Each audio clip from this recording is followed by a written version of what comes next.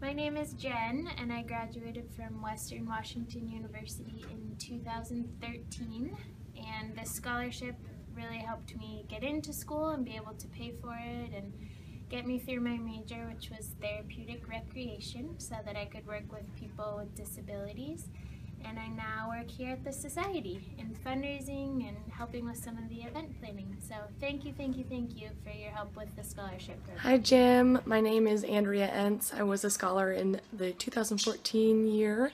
I also had the privilege of speaking at the Dinner of Champions that year and we got to sit together, my family and you and your wife, at that dinner which was amazing. Uh, I'm here at Western Washington University. I'm a resident advisor in one of the dorm buildings this year. I'm taking a lot of classes on human services and theater, volunteering, and having a great time. Uh, thank you so much for your help and support in this program. I wouldn't be able to be here without you. Hi, I'm Emma, and I study at Everett Community College here in Washington. I hope to one day become a journalist. Receiving this award has made everything possible, so thank you, and congratulations, Mr. O'Donnell. Bye. Hi, my name is Greg Larrick. Uh, I'm currently attending Eastern Washington University and studying mathematics. I'm hoping to become a college professor.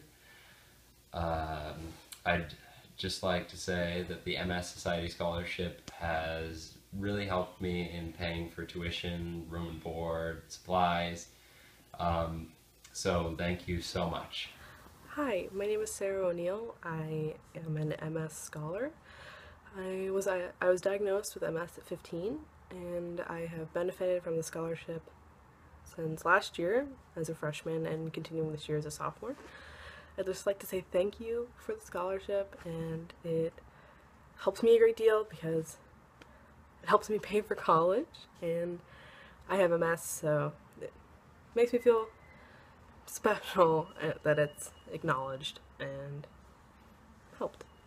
Thank you again. Hi, my name is Alexis Dizon, and it is my third year at the University of Washington, Seattle.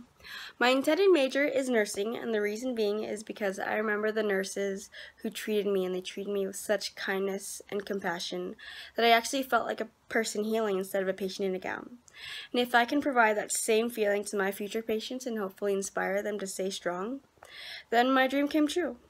And I come closer and closer to achieving that dream every day with this scholarship. So thank you so much, Jim, for your thoughtfulness and consideration so that me and my fellow scholars can come closer and closer to achieving our dreams every day.